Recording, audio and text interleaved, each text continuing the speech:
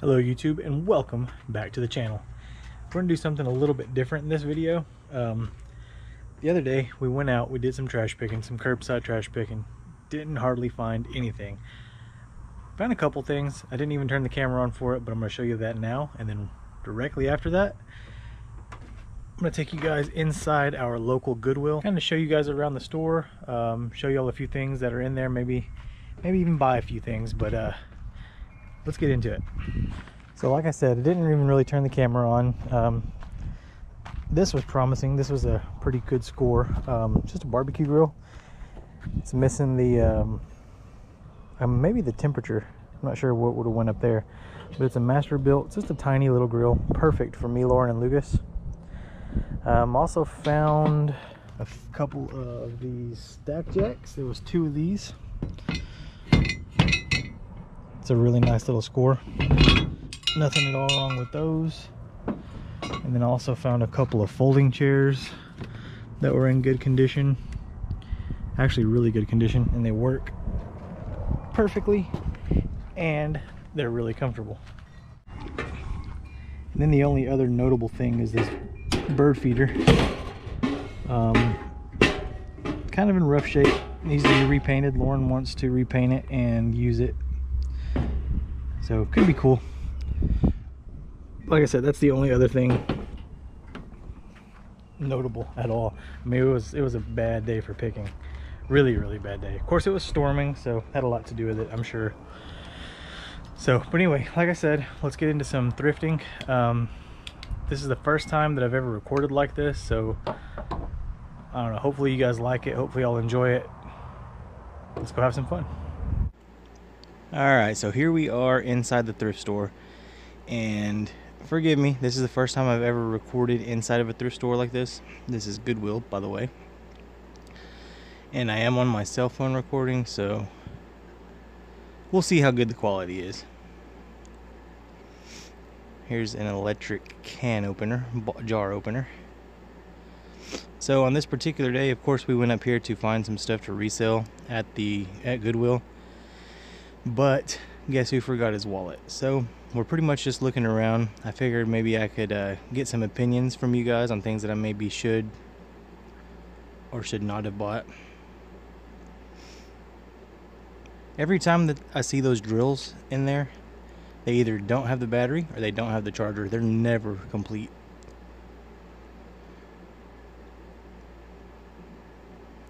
There's a little stereo. Could have been a decent sale, maybe. I know I see people selling those quite a bit, but the um, the CD tray was kind of messed up. A little Mickey Mouse bobblehead. He just felt real cheap.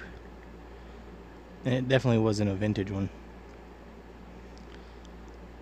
Lots of figurines.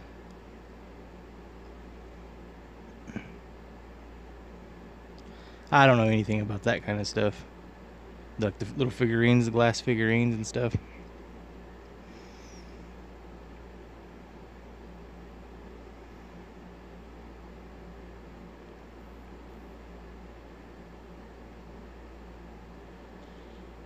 So they have one, two, three, four, maybe five aisles of all this kind of stuff. And as far, there's Lucas. Not happy in the buggy. Um, but as far as a lot of this stuff, I mean, I don't really know like what is good for resale. I mean, like this is a little bowling pin. It looked cool, but I don't know. I just like look things up that kind of stand out to me. Like here, they have a whole aisle of just Christmas stuff. Is it too early to start buying Christmas stuff? Got some new stuff still in like packaging from like what was that Dollar General maybe? Wanted six bucks for it. I think the original price on it was 10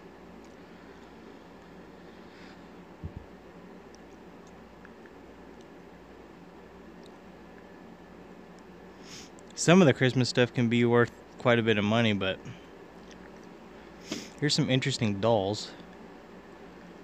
Again something I don't really know much about best best thing to do if you don't know some about something about a particular item and you don't have anyone to ask, just ask Google. Look it up on Google, see if you can find a name brand, a year, any kind of markings, and just look it up.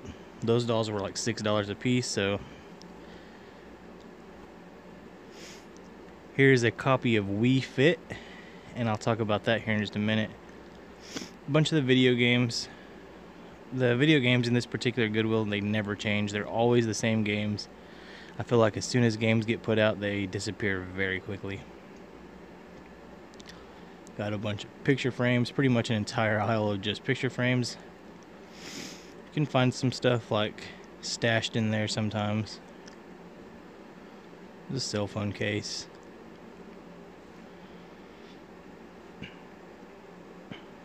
But mostly just picture frames. Some cool bottles or vases, I guess.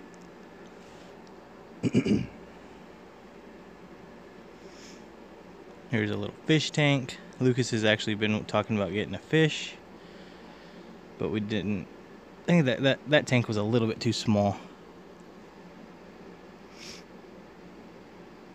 Still kind of just browsing these aisles, hoping to see one thing that stands out to me. We did have a little bit of cash on us, but but not much. Like I said, I forgot my wallet, so some more figurines. What was that? $7, $6? Could have been worth it to resell. I didn't even look those up. They, the boxes, you know, the boxes did look actually kind of kind of old. It might have been vintage. Oh. Calculator. And then I believe this is the last aisle of the knickknack type stuff. Just kind of walking around showing you guys some of the prices on a few of these items. Little sun tea pitcher. I would have got that. I like sun tea, but it didn't have the spout on it. And I, I know it's not really a problem, but I already have a pitcher like that, so I just left that one behind. I think it was only like a dollar. Pretty cool little jar there. I'm not real, uh, real big fan either of stashing the uh, glass items. You know, I don't like uh, holding on to a bunch of breakable stuff. It just seems like it always gets broken. Thought that was a sunflower. Lauren's huge into sunflowers. She loves sunflowers. And then this is the last of it. This is just the uh, the dishes. This is all dishes. And I very rarely look through this stuff. Just just because I, I just don't know. I don't know what I'm looking for. I know like Pyrex is always a big a big seller I guess. A big collector item even. But sometimes I you can find like collectors like Disney plates and things in there but I just don't really look through there too often. At the very end of this aisle is just some lamps. So nothing too exciting there. Here's probably the one aisle that I look at all the time. Every time I come in here into this particular Goodwill, I always look through the men's t-shirts. I actually found a t-shirt for $1.79 that we wound up selling on Poshmark for $80 not too long ago. So I always look. Here's a bunch of coats. They always have nice coats and jackets. And they have a ton of them right now because obviously it's summer, but I don't feel like they're going to sell very well with it being so hot. I mean, it could be something to like to buy a bunch of these and stash them, you know, and put them up somewhere. But their prices are for the uh, jackets and coats, they're still anywhere from like seven to like fifteen dollars. So you would have to spend quite a bit of money and wait a long time for a return. There's a pretty nice, I think Magellan brand shirt, fishing style shirt. Had the Chevy logo on it, but decided to leave it behind. That's cool. in the package. You got a Ninja Turtle shirt. You got a Ninja Turtle shirt? They got Mickey's order, but they want $15 a piece.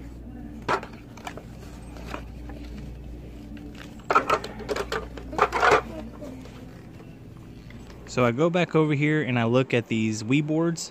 I don't know anything about them. I don't know if you have to have separate wires to uh, to make them work. But I've seen other people sell them in the in on their YouTube channels, and you know they they sell for 20 to 25 bucks a piece. But for the price of the board plus the price of the game, and then I don't have a way to test them. I just I just decided to leave them behind.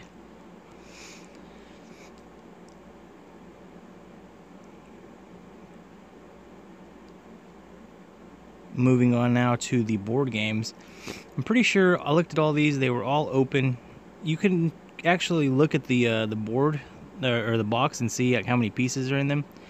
And if you want, and if you think the game's worth it, you can go in and count every piece to make sure all the pieces are there. But not something I want to mess with, so I just I just looked. Did find a cool checkerboard that I wish that I would have grabbed.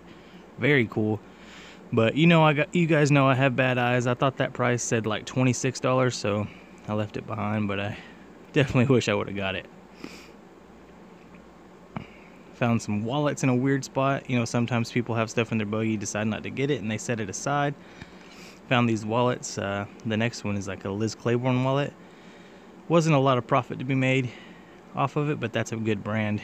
Price was right, but all right so we are back home from the thrift store from goodwill. Hope you guys like those clips. This like i said it was the first time that i've ever recorded like that so i don't know. Next time i go in i'm going to try to record with my gopro. It'll make things a lot easier to see because like i said in the clips i was using my cell phone. Anyway let's show you guys a few things that we found. Um, these first items they're actually items that we found a couple days prior. Um, i just at that time I, I hadn't recorded. I told you guys this was the first time I recorded inside the store.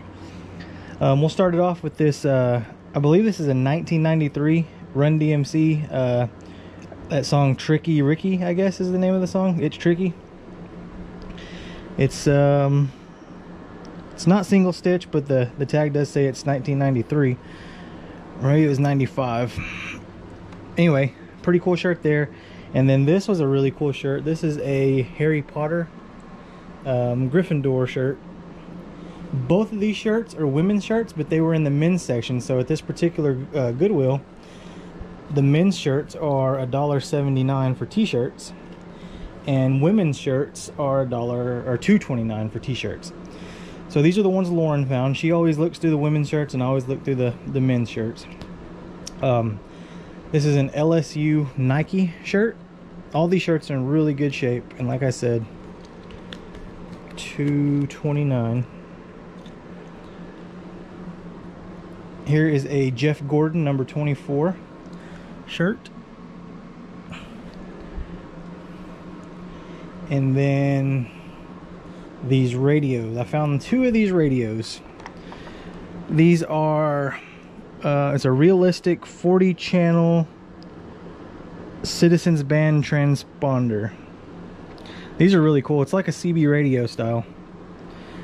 Antenna like extends to like four feet. And I got both of these.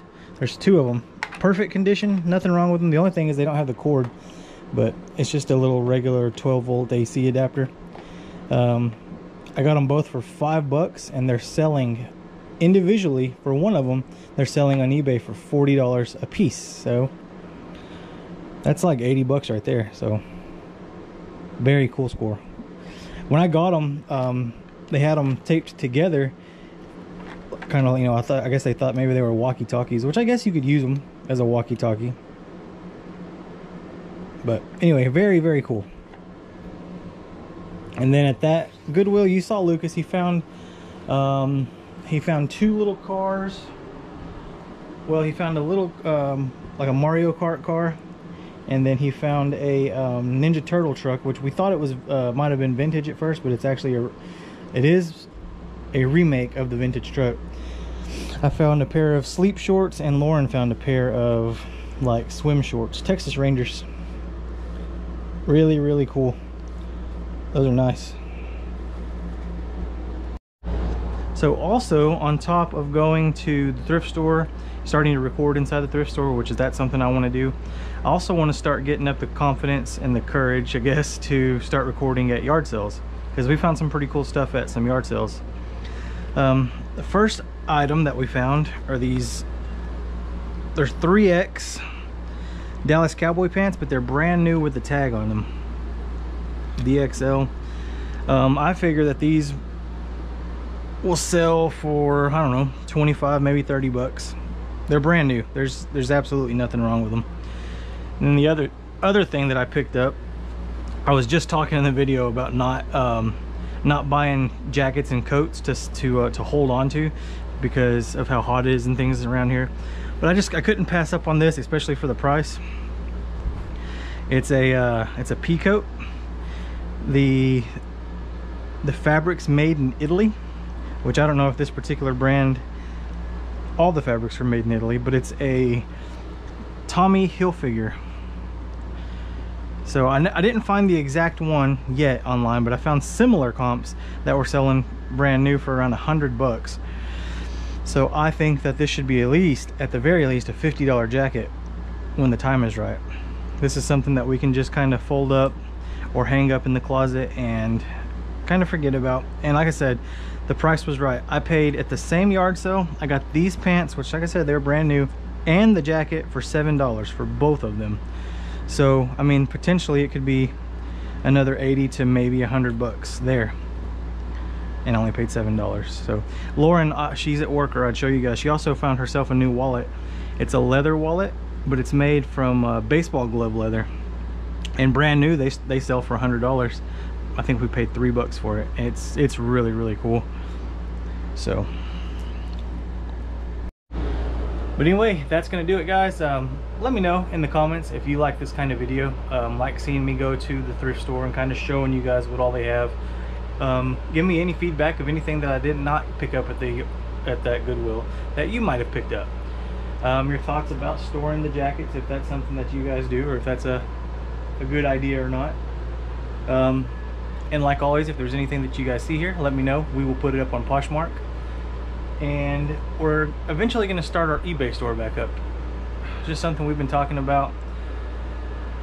So, I don't know eventually we're going to do that. We got a lot of stuff that we could put up on eBay that could probably bring us some decent money. We just we just got away from eBay for a while, but that might be something that we start doing again.